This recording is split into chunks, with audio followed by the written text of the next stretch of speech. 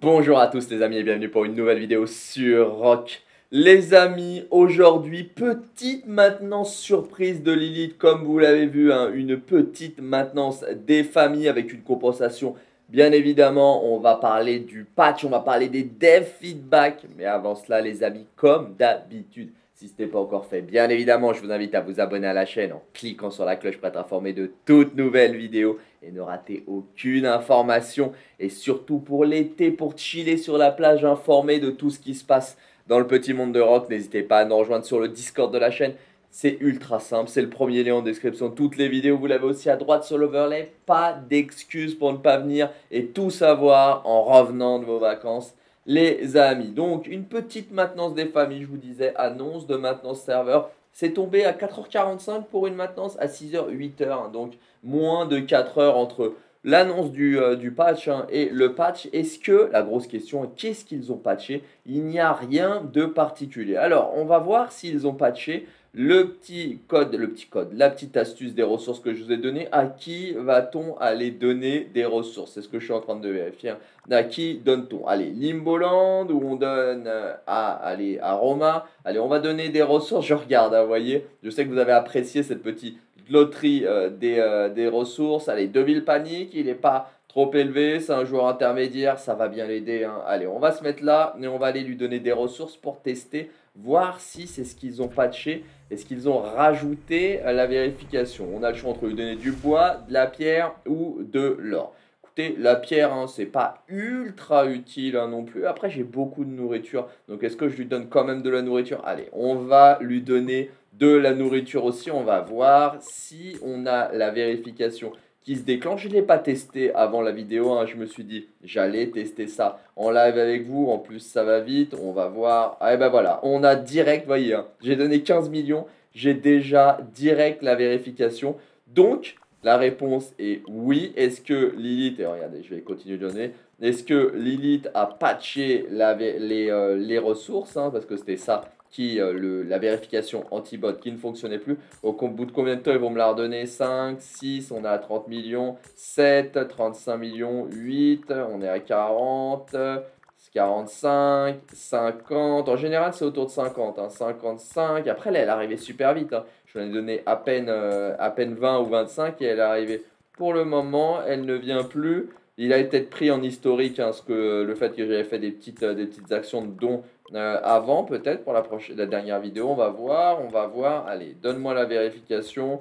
On va te donner un peu de pierre aussi parce qu'on est sympa. Voilà, on me donne un peu de pierre. Mon ami Devil panique. Hein. et pour le coup, euh, le précédent joueur est venu me remercier, celui à qui j'avais fait un don. Ça se déclenche plus, hein. ça a peut-être été patché à l'arrache, du patch Made in Kevin. Et voilà, ça se redéclenche.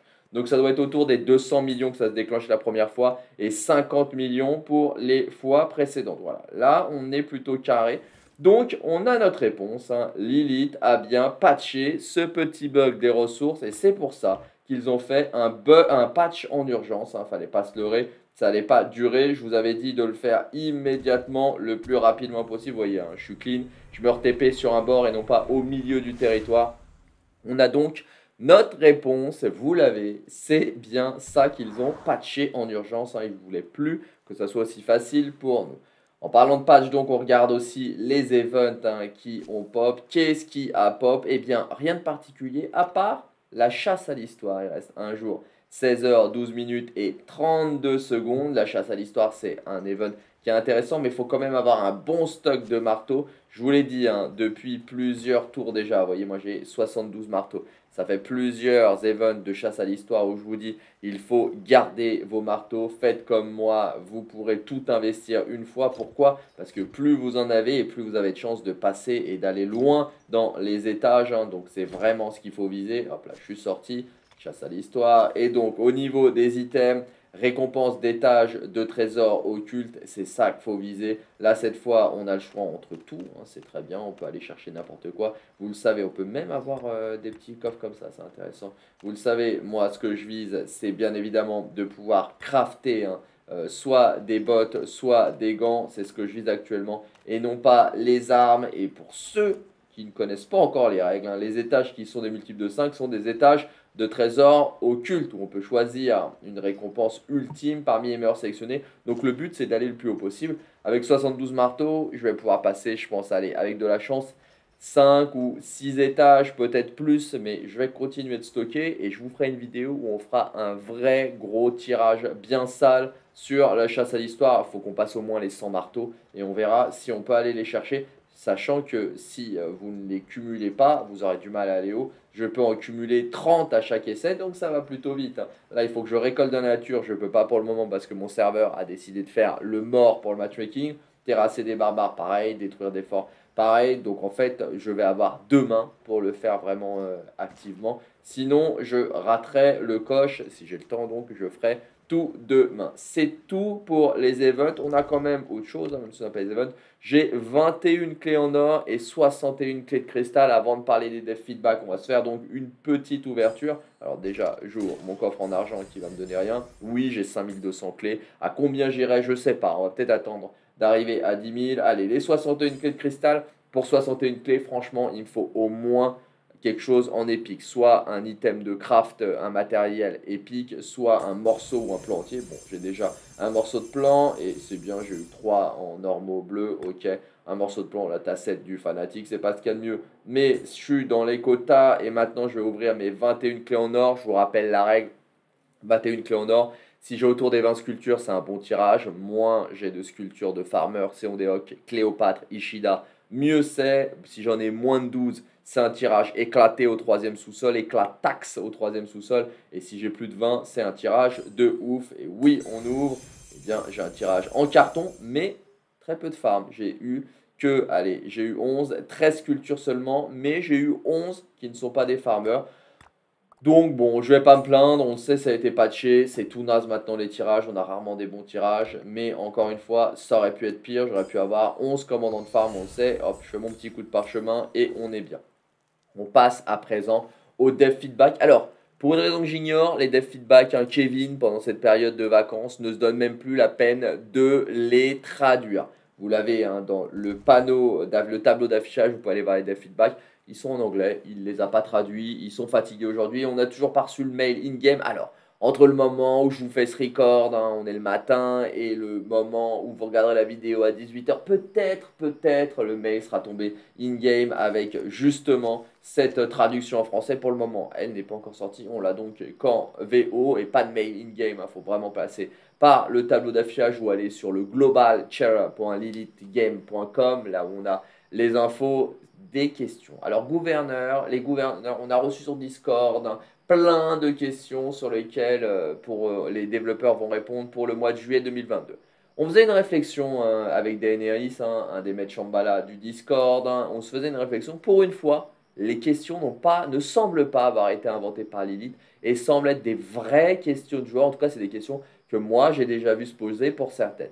La première, hein, depuis le dernier update, hein, il est difficile de sélectionner des ennemis pour les attaquer. Est-ce que vous pouvez rajouter un nouveau layer, un nouveau calque de transparence pour la sélection de troupes, rendre le nouveau calque de transparence optionnel pour la sélection de troupes parce qu'ils ont rajouté vraiment une, un calque de transparence. Il dit merci pour votre euh, feedback. Ils ont planifié euh, d'ajouter euh, un bouton on-off hein, pour l'effet de transparence, hein, pour nous aider à attaquer, que ce soit plus simple de sélectionner. Mais, mais ils disent pas quand c'est. Ça va arriver dans un update à venir et regardez, c'est updates. Hein. donc ça arrivera dans un update à venir au pluriel, donc on ne sait pas lequel. Donc, euh, c'est, euh, faut pas croire que c'est la fête que ça va être tout de suite. Peut-être ça va être tout de suite, peut-être ce sera plus tard. C'est prévu, mais on ne sait pas quand. C'est prévu comme la mage de Charlemagne. Hein. C'est prévu, mais on ne sait pas quand elle aura lieu. Hein. Elle aura probablement lieu jamais, cette fameuse mage qu'il nous avait parlé dans des dev feedback. Deuxième question, celle-là, elle est plus touchy. Euh, garder, ils veulent qu'on garde l'event de quiz pour l'Egypte, ça leur coûterait rien de le mettre. Hein. Il y a eu un event de quiz d'alliance pour l'Egypte, si vous vous rappelez, hein, et ils voudraient qu'ils sortent tous les 3-4 jours, ils disent, hein, ou toutes les semaines. C'est ce qui est demandé. Ils ont reçu un grand nombre de retours positifs sur ce quiz et ils sont contents que les joueurs euh, l'apprécient. ils vont discuter avec la team pour considérer de, de l'ajouter ou pas, pour, pour l'ajouter ou pas tout simplement. Mais ce n'est pas encore décidé actuellement. En vrai, ça leur coûte rien de l'ajouter. Hein. Ils pourraient l'ajouter immédiatement. Le quiz est prêt, il pourra apparaître tout comme les autres events. Pourquoi, quand ils hésitent, c'est comme ça? Pourquoi ils doivent en discuter? En fait, ils doivent discuter de la pertinence de nous donner gratuitement des rewards quand leur objectif est de nous faire acheter des bundles. Elle est là la vraie question. Hein. Comme quand ils ont rajouté un event en plus à la place de la seconde file à 7000 gemmes. La question c'est pourquoi rallonge-t-il le temps et que la deuxième file à 7000 gemmes apparaît plus que tous les trois events saisonniers, non plus les deux? Eh bien pour augmenter leur chiffre d'affaires, pour augmenter les joueurs qui vont acheter des bundles. Là, quand ils rajoutent des nouveaux events comme ça, si c'est un event en plus, un quiz en plus, ça nous donne en plus des items, donc il y a moins de raisons que les tout petits lost spenders hein, ou les free players euh, très occasionnels qui achètent un patch euh, par mois ou moins, eh bien, il n'y a pas de raison que ces joueurs achètent si on leur donne plus d'items. C'est ça le vrai truc et c'est ça qu'ils discutent entre eux. Ils discutent entre le marketing, entre euh, la com, entre tout ça. Hein. C'est pas une question de dev, c'est vraiment une question d'argent pur et dur parce que ça leur coûte rien de le rajouter vu que tout est déjà fait.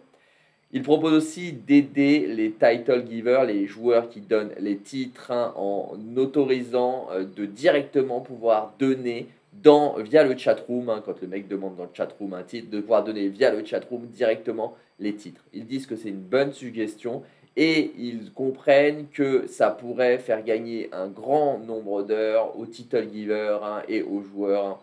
Ils vont voir comment implémenter cette feature in-game et ils espèrent que cette euh, mise à jour sera disponible dans le futur bientôt. Alors là, on n'est pas dans une problématique économique. Hein. Qu'est-ce qu'ils fait Qu'ils hésitent, qu'ils ne le font pas tout de suite. Ça demande des du dev, tout simplement. C'est un coût d'investissement. Ils ne euh, l'ont pas prévu et donc ça demande un dev supplémentaire pour pouvoir le faire directement dans le chat. C'est surtout ça qui les retient.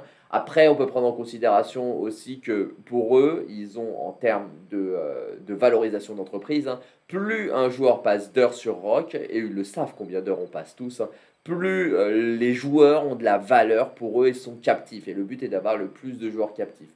Donc là, on est, ils pourraient prendre en considération ça, mais à mon avis, c'est vraiment qu'une question de pertinence de le mettre en place et non plus un, une problématique de captivité euh, du joueur, parce que les title givers en général, ce sont des gens qui sont très très connectés dans le jeu. Question suivante, hein, la question numéro 4. S'il vous plaît, augmentez le nombre de drop rates de cristal quand on explore la map. Alors sur le royaume perdu, quand on explore la map, on peut trouver dans les villages tribales hein, des cristaux. Ils disent, la question là, c'est le drop rate dans les villages euh, tribales est trop bas. Augmentez-le s'il vous plaît. Eh bien, ils leur répondent, hein, ils ne vont pas augmenter le drop rate des villages euh, tribales puisqu'ils disent qu'ils ont, ils travaillent de manière générale sur la Crystal Tech et que là, ils ont déjà fait des changements dans le futur qui vont arriver et qui nous donneront satisfaction. Alors là, euh, je brode évidemment, mais euh, c'est en gros ce qui, ce qui sous-entend. Évidemment, ils ne vont pas augmenter le Crystal Drop Rate. Hein. Évidemment, leur intérêt, c'est pas nous faciliter la vie. Le Crystal a été ajouté au KVK pour nous faire dépenser, il faut pas se leurrer, pour euh, nous prendre plus de thunes.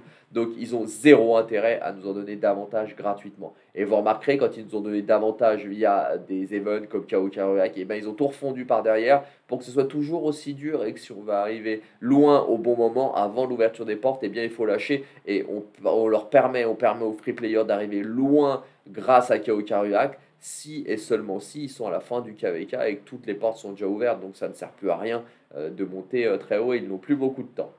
Euh, question suivante, ils disent commander, la, la, sidebar sur le côté des commandants, vous le voyez quand je vais sortir un commandant par exemple, hein, je sors un commandant, la barre sur le côté, celle qui est là, voilà, typiquement celle qu'on voit sur le côté, mais je n'ai même pas besoin de sortir. La barre à droite là, ils disent qu'elle n'est pas assez, assez grande et il le propose qu'on puisse euh, la, la, scroller pour pouvoir voir, quand on a tous les commandants, à tous leur vie euh, et euh, le nombre d'unités qu'il leur reste tout simplement. Ils disent ok, c'est une bonne suggestion.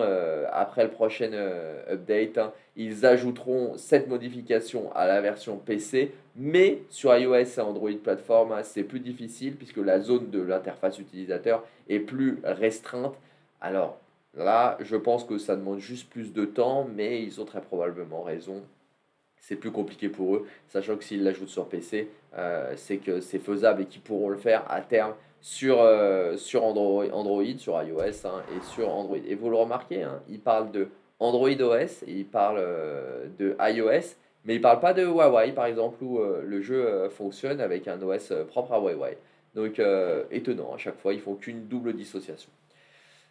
Avant dernière question, s'il vous plaît, faites, rendez les descriptions des skills des commandants plus claires hein, et ne soyez pas vagues avec des phrases comme increase damage, euh, augmente les dommages donnés par les archers de 10% et expliquez-nous euh, concrètement si ça veut seulement dire attaque ou attaque et contre-attaque. Parce que euh, là, c'est vrai que c'est pas précisé et ça a apparu sur les derniers commandants. Cette question s'est très souvent posée notamment hein, sur euh, ces, euh, ces, derniers commandants. Euh, là, ouais, ça serait bien que ce soit clair parce que c'est souvent le bordel. Et surtout quand c'est le bordel, et ce que les joueurs regrettent, hein, c'est qu'après, ils nous sortent un petit patch des familles où ils disent oui, vous avez mal compris, ou les développeurs se sont mal exprimés. Et en fait, ils font un patch, un nerf du commandant. Ils changent son skill sans, sans dire vraiment ce qui change. Et on remarque ça vraiment toujours trop tard. Et chaque fois, les joueurs ont monté les commandants et ne prennent pas de compensation c'est un petit peu euh, des, euh, des, escrocs là-dessus. Ce qu'ils nous répondent, c'est qu'ils merci pour le feedback. On comprend l'importance que les descriptions euh, soient vraiment détaillées, hein. mais elles sont transcrites de, du langage originel en anglais vers d'autres langages. Alors c'est pas vrai, c'est transcrit du chinois vers d'autres, mais bon, ils peuvent pas le dire. Hein. Et il y a toujours des petits ajustements dans les descriptions qui peuvent être incomprises lors de la translation, de la traduction. Hein. Ils vont euh, remonter ça à leur team de localisation. Alors, leur team localisation, c'est pas une team interne, je le sais, euh, puisque ça, j'en suis, euh, j'ai la source. Ils se pas une team locale, il faut comme tous les jeux vidéo, ils travaillent avec des bureaux spécialisés dans la traduction pour augmenter la qualité de la traduction. Ce qui veut mais ils peuvent toujours in-game, on peut toujours reporter sur le Discord. Les, euh, les problématiques euh, de traduction. C'est normal qu'ils travaillent avec une boîte hein, pour ça. Hein. Les mecs, ils vont pas parler 20 euh, 000 langues, ils vont pas avoir 20 000 collaborateurs pour faire les traductions. et pourtant, le jeu est traduit dans énormément de langues, donc c'est tout à fait normal. Mais mettre ça sur le dos de la qualité de la traduction, c'est un petit peu abuse totalement par, par l'élite. Hein. Ils déconnent, c'est juste que les mecs se rendent compte qu'ils sont, ils sont mal exprimés ou que le commandant est cheaté, et donc après, ils en profitent pour nerfer. Dernière feature, et puis surtout quand on regarde les logs de combat, hein, on, ne voit pas euh, le, ce qu'ils rajoutent. il y a plein de choses qui n'apparaissent pas malheureusement dans les logs de combat. Dernière question, pardon. Euh, s'il vous plaît, ajoutez des nouvelles options features au chat système. Par exemple, ajouter une fonction pour effacer les messages du chat, hein, pour euh, de quoi mettre des quotes aussi sur des spécifiques messages pour rendre plus facile la communication avec les, autres joueurs. Merci, c'est une très bonne euh, suggestion. Tu parles, c'est une très bonne suggestion et qui ne leur coûte rien parce que le moteur du chat est déjà prévu euh, pour faire ça. Euh, on va ajouter certaines de ces suggestions hein, sur, sur leur planning de dev hein, et ils espèrent qu'ils vont commencer lentement à introduire des nouvelles features du chat. Alors ceux qui sont là depuis le début du jeu hein, savent à quel point c'était buggé au lancement et pendant toute la première année le chat, voire la première année et demie. Et donc, ça va arriver dans les prochains updates. C'est tout pour les questions avec les dev feedback. Alors, il y a plein de questions qui restent euh, en suspens. Moi, la question numéro 1 que je poserais, hein, c'est Charlemagne. Bah alors, les mecs, il y a un an et demi, vous nous avez dit Charlemagne, euh, un tocard et vous alliez euh, l'améliorer. Et, et ben, on en est où? Ça serait déjà une des premières questions que je leur poserais aux, développeurs. Après, si j'étais avec la com ou le marketing, je leur poserais bien d'autres questions. Voilà, écoutez les amis, c'est tout pour cette vidéo. J'espère qu'elle vous aura plu. Comme d'habitude, si c'est le cas, les amis, n'hésitez pas à lâcher un colossal pouce bleu. Vous le savez, les amis, ça me fait vraiment très plaisir et ça aide énormément le développement de la chaîne. Si ce n'est pas encore fait, les amis, qu'attendez-vous? Qu'attendez-vous pour vous abonner à la chaîne en cliquant sur la cloche pour être informé de toutes nouvelles vidéos? Je vous souhaite un bon jeu à tous. Prenez soin de vous. Faites bien attention à vous, les amis. Et je vous dis à plus sur Rock.